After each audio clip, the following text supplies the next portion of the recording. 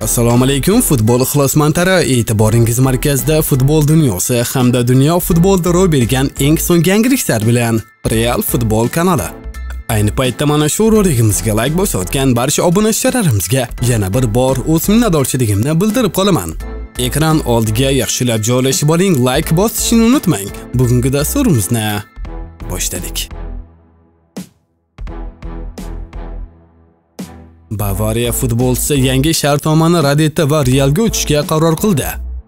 Bavariya himoyachisi Alfonso devis joriy mavsum yakunlangandan keyin myunxen klubini tark etishni rejalashtirmoqda. Uning xizmatlariga Real Madrid qiziqish bildirmoqda.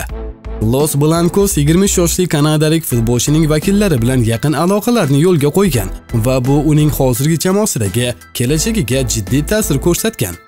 Myunxenliklar jamoasining asosiy himoyachisi klub bilan shartnomasini uzaytirish bo'yicha takliflarga e'tibor bermayapti va tobora Realga o'tishga moyil bo'lmoqda deb xabar beradi Relovo nashri. Eslatib o'tamiz, Davis Bavariyada 2019-yildan buyon o'ynab kelmoqda va uning myunxenliklar bilan amaldagi shartnomasi 2025-yilning iyunigacha amal qiladi. Joriy mavsumda chap qanot himoyachisi myunxenliklar safida barcha musobaqalarda 19 ta o'yinda maydonga tushib, 3 ta golli uzatmani amalga oshirdi. Grizman Messining rekordini yangiladi. Atletico hujumchisi Antuan Grizman noyabr oyida La Liganing eng yaxshi futbolchisi deb topildi. Fransiyalik futbolchi noyabr oyida Ispaniya chempionatining 3 ta o'yinida 2 ta gol urdi va bitta golli uzatmani amalga oshirdi. Matraschilarning 32 yoshli hujumchisi 8-marta La Ligada oyning eng yaxshi futbolchisi unvoniga sazovor bo'ldi. Bu bilan u 2021-yilda Barselonani tark etgan Lionel Messining rekordini takrorladi. Antuan Grizman joriy La Liga musobaqasida 13 ta o'yinda jami 9 ta gol urdi va bitta golli uzatmani amalga oshirdi. Yaqinda Atletico hujumchi bilan shartnomani uzaytirish niyatida ekani ma'lum bo'ldi. Kanalimizning doimiy homiysi sizga eng katta koeffitsiyentlarni taklif qiladi. Kiring ro'yxatdan o'ting Real Food kodi orqali katta bonusga ega bo'ling va o'z omadingizni sinab ko'ring. Omad silkasi esa doimgidek kommentariyada. Yuventus Sanchoni o'z safiga qo'shib olish shartini ma'lum qildi. Turinning Yuventus klubi Manchester United bilan hujumkor yarim himoyachi Jadon Sanchoning transferi borasida muzokaralar olib bormoqda. Bu haqda insider Rudi Galetti ijtimoiy tarmoqlar orqali ma'lum qildi. Jurnalistning so'zlariga ko'ra, Keksa Signora keyinchalik sotib olish huquqi bilan inglizni ijaraga olish variantini ko'rib chiqishga tayyor. Manchester yunayted jamoasi bosh murabbiy Erik tenhag bilan mojaro tufayli maydonga tushmayotgan futbolchi bilan xayrlashishga tayyor. Angliya chempionatining joriy mavsumida 23 yoshli vinger bor yo'g'i 3 ta o'yin o'tkazdi. jedenning qizil libislar bilan shartnomasi 2026-yilning o'rtalariga qadar tuzilgan. Sanchoning transfer qiymati 32 million yevro.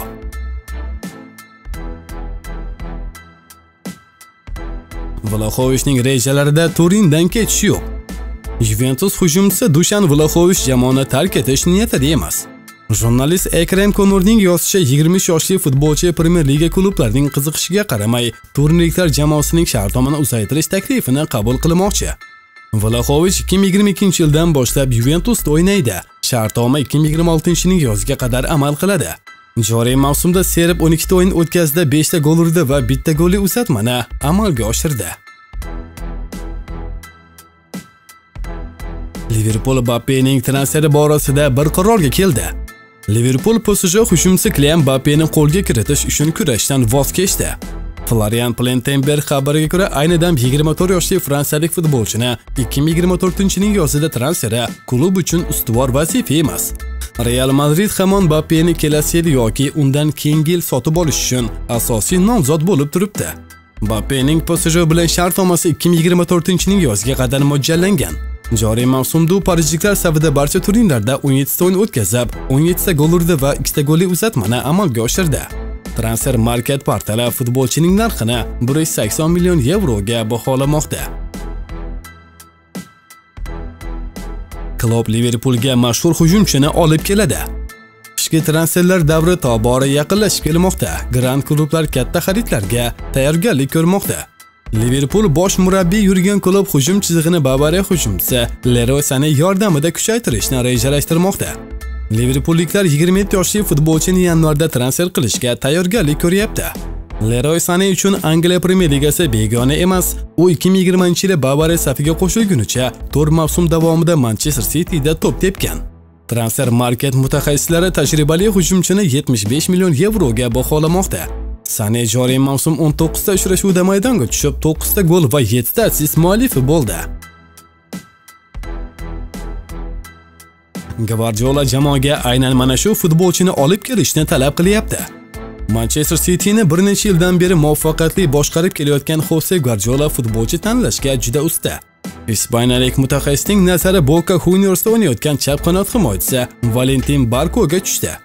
Bu o'yinchini ayni paytda shaharliklar uchun arzimagan summa 15 million yevroga olish mumkin. Guardiola 19 yoshli futbolchi transferi amalga oshganidan keyin maxsus rejasini qo'llaydi.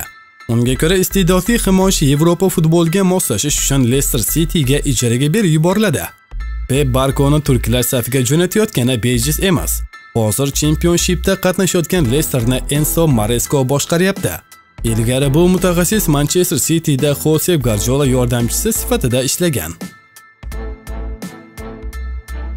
Bugun sizlarga yetkazmoqchi bo'lgan futbol yangiliklarimiz shulardan iborat edi. Video yoqqan bo'lsa, like bosishni unutmang, kanalimizga albatta obuna bo'ling.